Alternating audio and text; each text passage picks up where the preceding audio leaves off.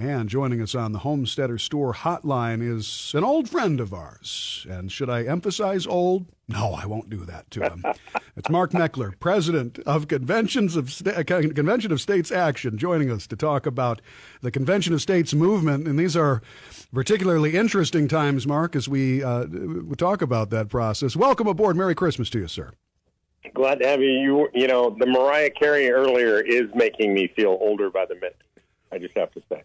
Oh my god. it is, and sicker by the minute too, because Yeah, there's little bit of there's really too, for my money. there's there's no song more nauseating, maybe with the exception of the Wham "Last Christmas" song uh, that I find in the uh, the the holiday catalog. It's it's something else. Now, before we begin, what is your favorite holiday themed Christmas themed song of all time? So my favorite is actually White Christmas, and there's a reason. The reason is most people don't know the history of that song, which is it was written Yeah. by a bunch of Jewish songwriters who had moved from New York to California, were living in Hollywood, enjoying a sunny, warm, uh, sort of beautiful, classical Southern California Christmas, and they were writing it to mock and harass their friends back in New York City. So a little uh, Schadenfreude, right? Uh, that's Yeah. that's the core of the spirit of Christmas. That's the spirit of the holidays, right there. I love it how that's turned into sort of the classic Christmas song, but it was really like, hey, we're not missing that at all. We're out here on the beach in Southern California, and you fools are back in New York. Oh, that's great. That that's great. I think. Um, well, if I were in their position, I'd be doing the same thing because here we are, another enduring another Midwest winter, of course, and it looks like we'll have a white Christmas, but it will also be colder than, well, as my old man would say, a well digger's behind. So, uh, we these are. These are interesting times, no doubt about it. And what I wanted to talk to you about was the Convention of States movement at a time when, at this moment, we have Democrats and big government Republicans holding hands on the one issue, Mark, that they can actually agree on. The one thing, and that's spending taxpayer money. They're putting together a $1.7 trillion or better omnibus spending package. Uh, it's insane. In the Convention of States, the movement is all about coming together as Americans and looking at some key amendments to bring accountability back to this federal government. And you look at what's happening in D.C. right now. Uh, it's just another urgent call, is it not? Yeah, look, I mean, this proves to us that they're even discussing this proves to us how bad we bad we need a convention of states, and and also, and I think this is really important to remember. The convention of states now over five million people strong is about more than just calling the convention. Those same people are involved in local elections, school board elections, but they're also being elected Yeah. to eventually to state level legislatures. These are the people that are going to have to push back against the overreach of the federal government literally at every level in the United States. And so the movement is training up people to be involved in the process and to restore self governance in America.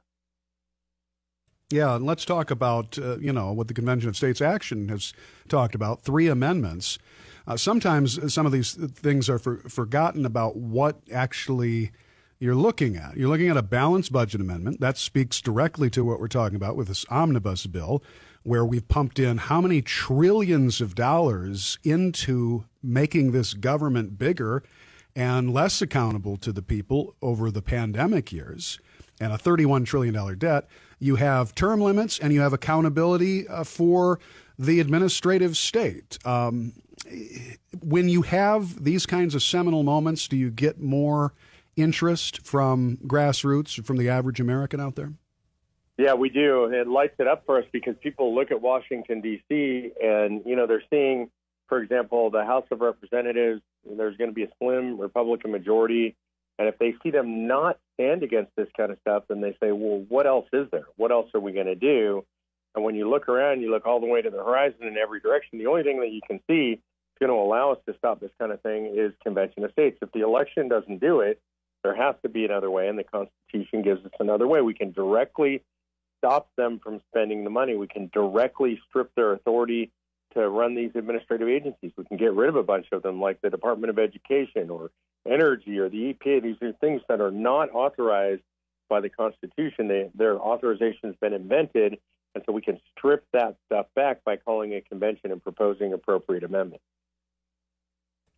Mark Meckler, president of Convention of States Action. This has been a very good year for Convention of States, for the, the movement, the momentum on that front. How many states now? And uh, no, Wisconsin joined the ranks in the last year.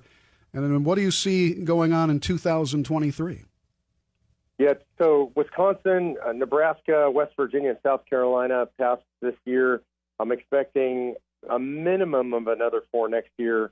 On my list are roughly 10 that I think are viable options. I'm shooting for six or seven of those. So that would take us from 19 where we're at. Let's say we got seven more, we'd be at 26.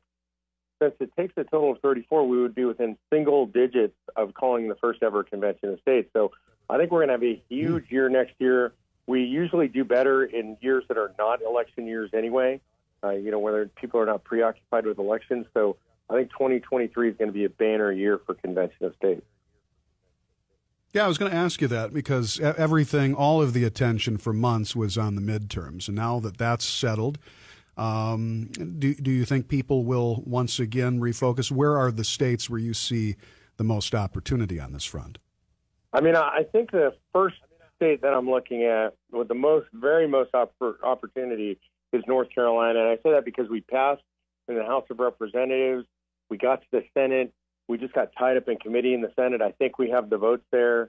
Uh, our grassroots activists worked really hard in the elections in North Carolina, helped the North Carolina Senate obtain a supermajority to override governor's vetoes there. They have a Democrat governor.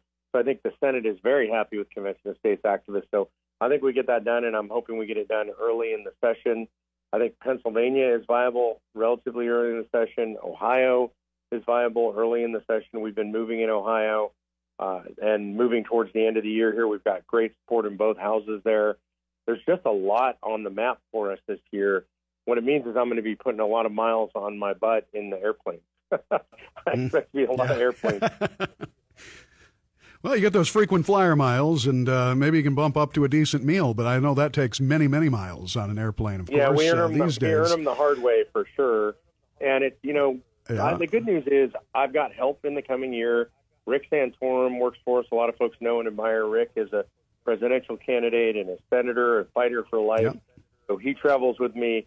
Mike Farris, who was my co-founder of the organization, founder of Homeschool Legal Defense Association, he's been the CEO of Alliance Defending Freedom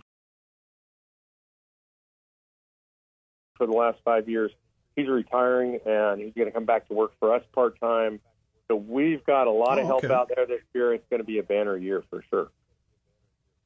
Oh, very interesting. Some good people in the lineup for sure.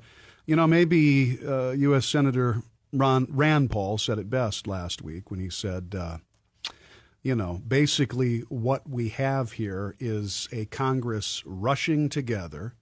Uh, it, it, once again, leadership engaged in extortion to pass a massive omnibus bill um, where everybody gets something in it, but the the one person that gets screwed time and time again is the American taxpayer. How long can we go on with this kind of uh, massive emergency spending, so to speak? Yeah, you know, and I think what's interesting, and he's absolutely correct, and his dad was saying it before him. The problem is we don't know when the bell tolls, right? We don't know when this thing is over. It's like you're playing musical chairs. At some point, we're going to be out of the chairs, and you never know when that's going to be, but it is coming because that which can't continue forever won't continue forever. You can't continue borrowing forever. A lot of people don't realize when we print money, when we borrow money, that's actually just a tax to the taxpayer, even though they don't account for it as a tax. You're going to pay for that. Inflation means your dollars are worth, worth less. That's what you get when they print money. So they are imposing all these hidden taxes on us. Most people don't realize, and if they did, they'd be very angry. So eventually, all of that is going to come home to roost.